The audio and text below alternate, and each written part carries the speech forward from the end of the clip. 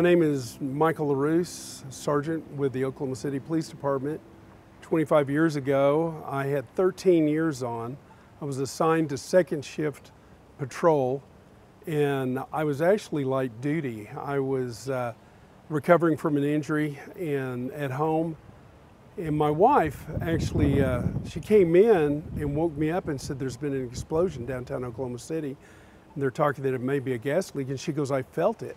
And uh, so I woke up and ran downstairs. We started watching TV. And it became apparent that as time was going on, that this may have been an actual terrorist uh, attack.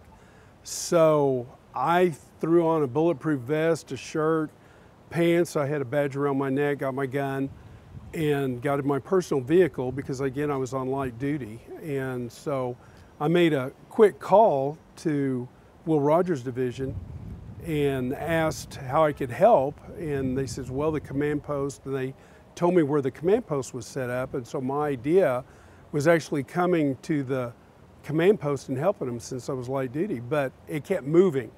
So I parked my car a few blocks to the north and uh, to the uh, uh, west, got out and started making my way down towards the building. I was just compelled to because I could see the smoke rising and it honed out in the in the center. So as I was making my way here, I actually ended up right here at uh, Fifth and Harvey. Now the strange thing was I did not know because I had no way of communication. They weren't putting it over the radio, but a second device was found. And when it was found, the rescue workers, the firemen, and and everything had ran north and over towards Broadway. Well, just behind them, here I come at this intersection, and I'm standing here looking at the damage to the Murrah building. Empty fire trucks with their ladders extended, papers are still, still floating down. And for a moment, I'm, I'm, trying to reconcile this in my mind where there's no one here. There, it had happened just about an hour prior. So as I was thinking, there's no way that this has been locked down a crime scene like this, not this early. And about that time, a couple officers were just to the north behind a building, yelled over to me and they said, Loruse, they go, they found a second device in there, a second bomb. And so I made it back over there. We were standing around and we were talking. And probably 15, 20 minutes went by and we're thinking, someone's got to verify what that was. Nothing's gone off because we knew people were still in there.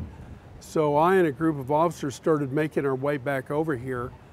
And about that time, I started seeing some federal agents, FBI, ATF, guys with their jackets on. And we actually made our way over to the courtyard, and the stairwell was still intact over here, uh, you know, the stairwell just right over here by Harvey. And we made our way up with some ATF agents up to the ninth floor because they wanted to see if there was any of their people in there. And when we came out, I'm standing and looking at this huge opening, a panoramic view looking to the north of Oklahoma City, and it's and so much of the furniture had been blown back actually uh, behind me to the south.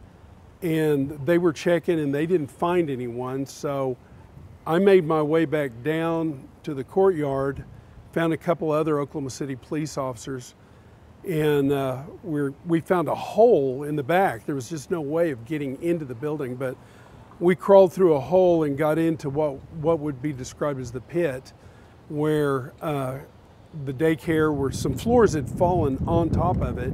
So we just started digging, and we were digging and digging, and more people showed up more Oklahoma City police officers, civilians. That, that blew me away. How many Oklahomans showed up, not just neighbors, no uniforms, no protective gear, no radios, no equipment, no training. They just came in and they were digging with us. And it was so imperative to find people.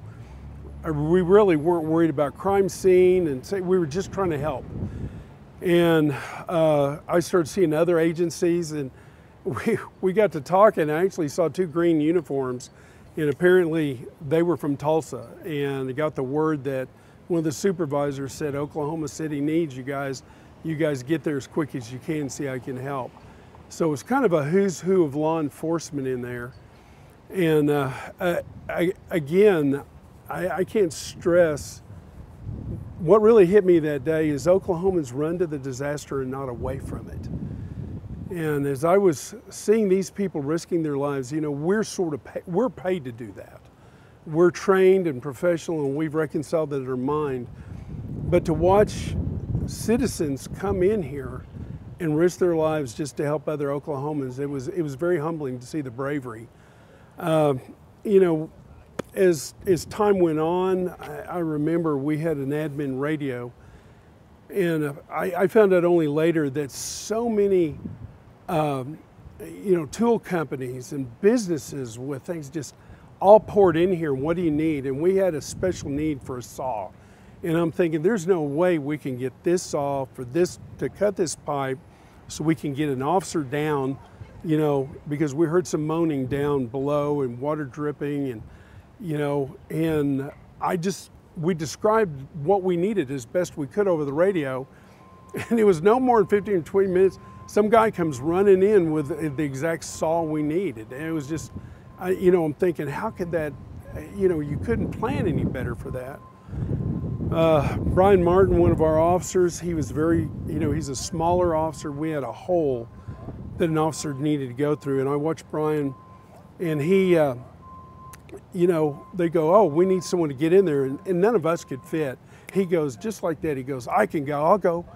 And so once we got the opening, we tied a cord or rope or something around him, and we are going to lower him down. But I noticed that two, two uh, cement walls had come together and pinched a, a refrigerator that was obviously used on one of the floors, and it was kind of dangling there with the door and we just didn't know what was going to come down on our head or fall on us. And uh, we, we were mindful of it, but you know, people needed us. So we stayed in the building, we lowered him down, uh, we dug, we got some kids out, we did some that were very maimed, and it was, it was horrible. I remember one kid that I, I, we wrapped up. We didn't want his parents to see him. And I picked him up, and he was the the height weight of my four-year-old at the time, and we took him in. And EMSA was right there. The ambulance people were right there, and we pushed him through, and they took him. And uh, when it was all over, we we refused to leave until we were replaced by firefighters. And so when they uh, they started showing up and they started uh, relieving us, then that's when we started moving out of the building. We were there, you know, just until until relieved. No one was going to leave.